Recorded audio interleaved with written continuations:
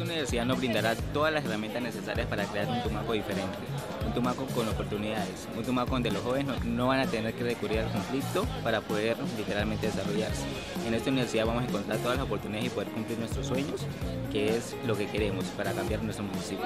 Soy de un municipio que queda tres horas. Es un municipio que estaba prácticamente olvidado y hoy, gracias a la Universidad Nacional de Colombia, hace parte de todo esto y de verdad es un cambio muy significativo. Yo sé que a futuro vamos a salir adelante, vamos a crear grandes proyectos, vamos a hacer grandes y grandes cosas en este territorio.